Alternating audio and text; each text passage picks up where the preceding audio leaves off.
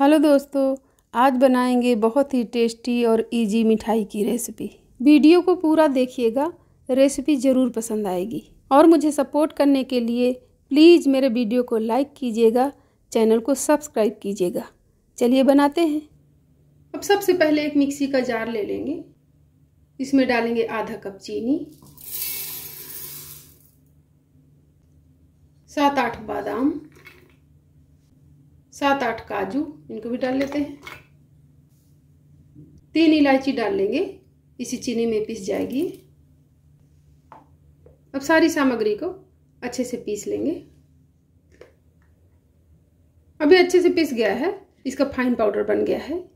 ये देखिए, एकदम बारीक हो गया है। अब इसको डाल लेंगे एक मिक्सिंग बोल में।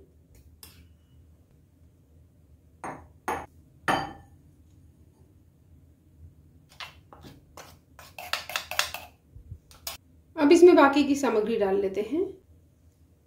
आधा कप डालेंगे नारियल का बुरादा।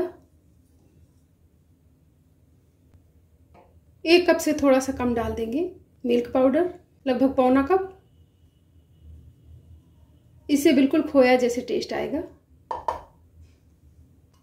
दो चम्मच देसी घी डाल देंगे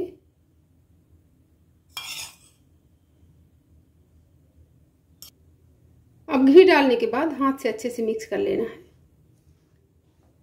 अभी अच्छे से मिक्स हो गया है। अब इसमें थोड़ा थोड़ा दूध डाल के इसको गूंथ के तैयार करेंगे। जैसे आटा गूंथते हैं, बिल्कुल उसी तरह गूंथेंगे। टाइट थोड़ा सा गूंथेंगे। गीला ना होने पाए।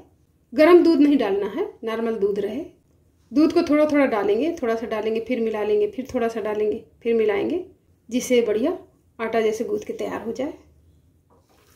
अभी अच्छे से मिक्स हो गया है, एकदम डो की फॉर्म में आ गया है, जैसे आटा लगाते हैं, ये देखिए। इसको गूंथने में बहुत थोड़ा सा दूध लगा है, बहुत ज़्यादा दूध नहीं लगता है। तीन चार चम्मच के आसपास पड़ता है, उतने में ही हो जाता है। अब एक मोदक मोल्ड ले लेंगे। इसको मैंने घी से ग्रीस कर लिया है। अब एक छोटा सा पोर्शन उठाएँगे।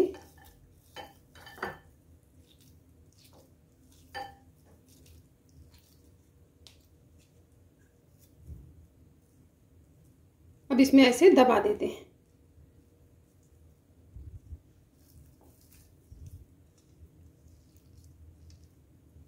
इधर भी दबा देंगे।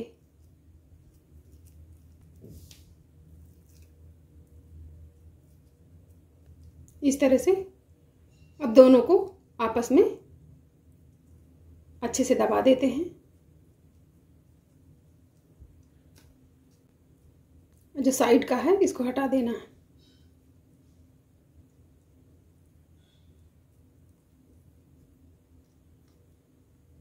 इसको हटा के बराबर कर देंगे। अब इसको खोल देंगे।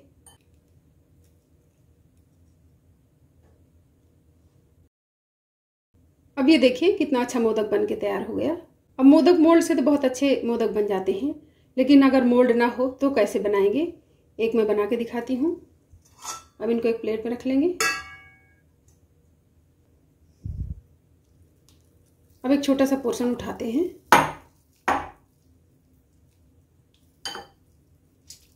इसको हाथ से दबा करके गोल कर लेना है पहले। इस तरह से। अब थोड़ा सा लंबा कर देंगे। नीचे का पोर्शन लंबा करेंगे इस तरह से। ये देखिए, अब इसको हाथ से ऐसे पुश करके दबा देते हैं। गणेश जी के भोग के लिए ये मोदक आप ज़रूर बनाइएगा, बहुत जल्दी बन जाते हैं, पाँच मिनट लगेंगे, आप भोग तैयार हो जाएगा। और गैस भी नहीं जलानी पड़ेगी। बिना गैस जलाए कोई झंझट नहीं होगा, आराम से बन जाएँगे।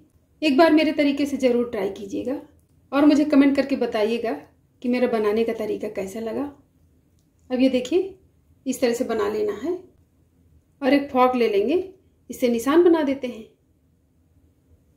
इस तरह से। और अगर आप मेरे चैनल में नए हैं तो मेरे चैनल को सब्सक्राइब करना ना भूलिएगा। बेल आइकन ज़रूर दबाइएगा। वीडियो अच्छा लगे तो लाइक भी कर दीजिएगा। ये देखिए, अगर मोल्ड ना हो तो आप इस तरह हाथ से भी बना सकते हैं। अब सारे बना के तैयार कर लेंगे।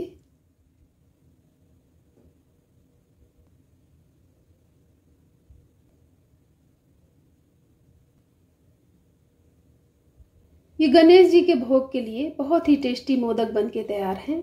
इनको बनाना बहुत आसान है, बहुत कम समय में बन जाते हैं।